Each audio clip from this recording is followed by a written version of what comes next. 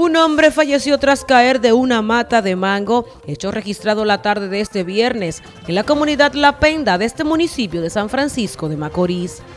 Se trata de Radamés Restituyo Tejada, de 53 años de edad, residente en la calle M del sector 27 de febrero. Su hermana Teresa Restituyo narró a nuestro medio cómo ocurrió el hecho.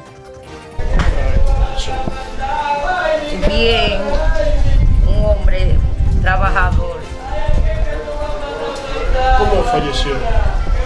Se cayó de una mata y se, se rompió en una rama y se mató. ¿A qué se dedicaba? Ella arreglaba y trabajaba lo que apareciera. y hacía de todo. Electricista. Para NTN, su noticiero regional, Joanny Paulino.